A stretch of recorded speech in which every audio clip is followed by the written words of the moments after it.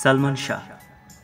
একসময়ের হাজারো তরুণ তরুণীর স্বপ্নপুরুষ, যিনি বাংলাদেশের ফিল্ম ইন্ডাস্ট্রিকে খুব অল্প সময়ই নিয়ে গিয়েছিলেন এক অনন্য উচ্চতায়।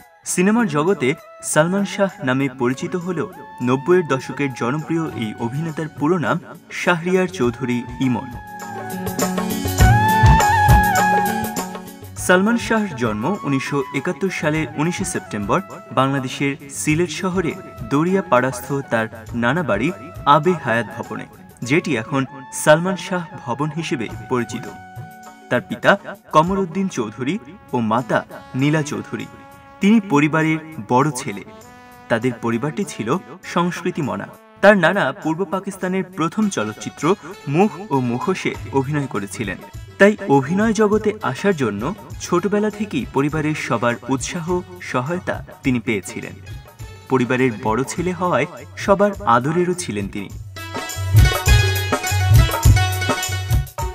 সালমানের মধ্যে কি এমন ছিল, যার জন্য তাকে আইডল হিসেবে দেখে সবাই? এই প্রশ্নের উত্তর খুঁজে পাওয়া যায় সালমানের সিনেমাগুলোতে। অনেকেই সালমানকে শুধু স্টাইল আইকন হিসেবেই বিবেচনা করেন। অথচ তার সহজাত অভিনয় দক্ষতা ও চরিত্রের ভেতর ঢুকে গিয়ে একদম চরিত্রে মিশে যাওয়ার গুণটা ছিল প্রবল।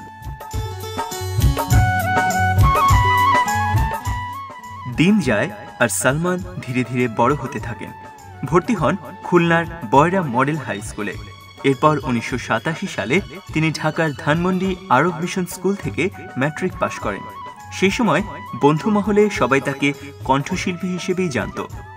উনিশশো ছিয়াশি সালে ছায়ানট থেকে পল্লীগীতিতে উত্তীর্ণ হয়েছিলেন তিনি।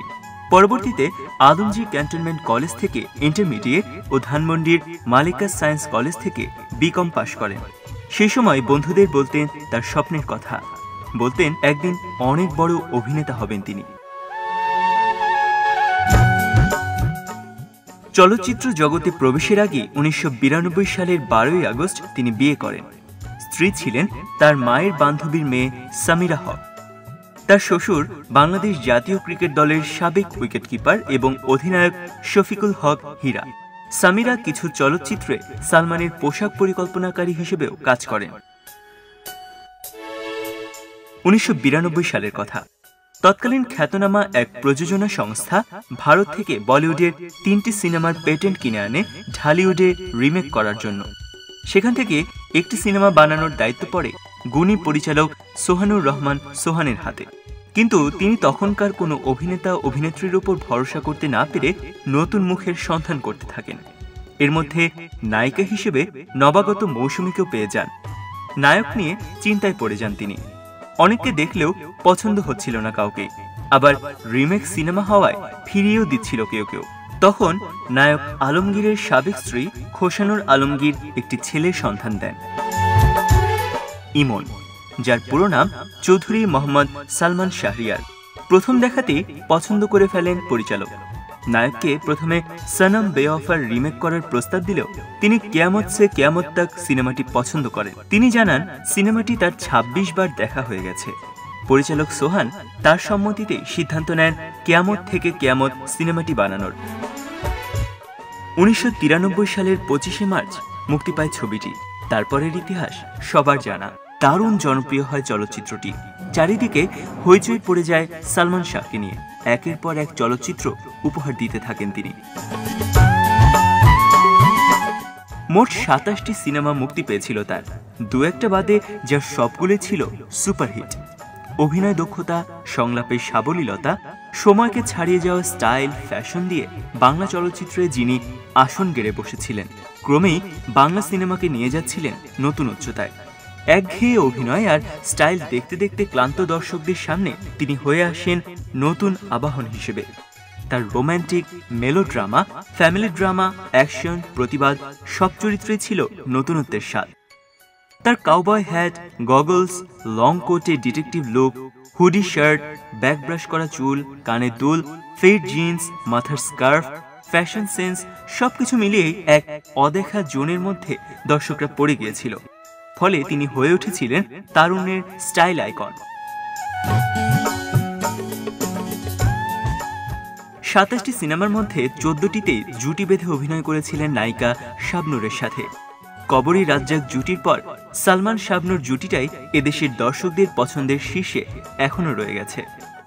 হয়তো অল্প সময়ের জন্য এসেছিলেন বলেই এত দ্যুতি ছড়াতে পেরেছিলেন। কেটে গেছেন দাগ। যে দাগটা তার প্রস্থানে টানা এত বছর পরেও জল জলে। তার অনুপস্থিতি আর অকাল প্রস্থান আজও পোড়াচ্ছে অগণিত মানুষের মন। তাকে বলা হয় নব্বই দশকের শ্রেষ্ঠ নায়ক। টেলিভিশনেও তার অভিনীত বেশ কিছু নাটক জনপ্রিয়তা পায়। সালমান উনিশশো পঁচানব্বই সালে বিটিভির আকাশ ছোঁয়া নাটক দিয়ে অভিনয়ের যাত্রা শুরু করেন। পরে দেয়াল, সব পাখি ঘরে ফেরে সৈকতে সারস, নয়ন, স্বপ্নের পৃথিবী এসব নাটকেও অভিনয় করেন নয়ন নাটকটি সে বছর শ্রেষ্ঠ একক নাটক হিসেবে পুরস্কার লাভ করে। এছাড়াও তিনি উনিশশো নব্বই সালে মইনুল আহসান সাবের রচিত উপন্যাস অবলম্বনে নির্মিত পাথর সময় ও উনিশশো চুরানব্বই সালে ইতিকথা ধারাবাহিক নাটকে অভিনয় করেন। সালমানের সিনেমায় শুধু অভিনয় আর ফ্যাশন নয়, গানও ছিল আকর্ষণের কেন্দ্রবিন্দুতে। তার প্রতিটি সিনেমায় ছিল দারুণ সব গানে ভরপুর। অনেক গানই কালজয়ীতে রূপ নিয়েছে ইতিমধ্যেই। তরুণ শিল্পীরা এখন চলচ্চিত্রের গান গাইতে গেলে সালমান অভিনীত সিনেমার গানগুলোই বেশি গেয়ে থাকেন। উনিশশো ছিয়ানব্বই সালের ছয় সেপ্টেম্বর, সেদিন ছিল শুক্রবার। শুক্রবারে বিটিভিতে তখন বাংলা সিনেমা দেখার জন্য সবাই বসে থাকত। বাংলা সিনেমার মাঝখানে বিকেল পাঁচটার খবরে সংবাদ পাঠকের কণ্ঠে ভেসে এলো দুঃসংবাদটি।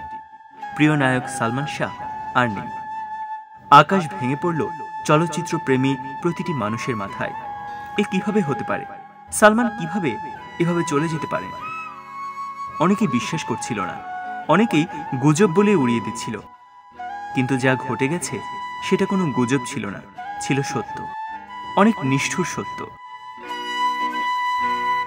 সেদিন আনুমানিক সকাল এগারোটায় তিনি চলে যান না ফেরার দেশে। এদেশের সিনেমা প্রেমীদের জন্য সবচেয়ে দুঃখের দিন। কি এক অভিমানে এই দিনই সবাইকে কাঁদিয়ে অকালে বিদায় নেন এই মহাতারকা। সকালে রাজধানীর নিউ স্কাটন গার্ডেন এলাকায় নিজ বাসায় সালমান আত্মহত্যা করেন। মৃত্যুর আগে সালমান একটি সুইসাইড নোট লিখে রাখেন। সে সময় সালমানের বাসা থেকে পুলিশ এই সুইসাইড নোটটি উদ্ধার করে। সেই সুইসাইড নোটে সালমান লিখেছিলেন, আমি চৌধুরী মোহাম্মদ শাহরিয়ার পিতা কমরউদ্দিন আহমেদ চৌধুরী, একশো ছেচল্লিশ বাই পাঁচ গ্রিন রোড, ঢাকা বারোশো পনেরো। ওরফে সালমান শাহ এই মর্মে অঙ্গীকার করছি যে আজ অথবা আজকের পরে যে কোনো দিন মৃত্যু হলে তার জন্য কেউ দায়ী থাকবে না। স্বেচ্ছায়, সজ্ঞানে, সুস্থ মস্তিষ্কে আমি আত্মহত্যা করছি। ধূমকেতুর মতো আবির্ভাব ঘটেছিল তার। মাত্র চারটি বছর ছিল তার অভিনয় জীবনের ব্যাপ্তি। কিন্তু এই চারটি বছরে যা করে গেছেন, রেখে গেছেন, মৃত্যুর এতগুলো বছর অতিক্রান্ত হওয়ার পরও আজও তার শূন্যস্থানটা কেউ পূরণ করতে পারেনি। সালমান শাহ এখনও বেঁচে আছেন। তার ভক্তদের হৃদয় স্বপ্নের নায়ক হয়ে, ভালোবাসার রাজপুত্র হয়ে। আমাদের একজন সালমান শাহ ছিলেন, আছেন এবং চিরকাল থাকবেন।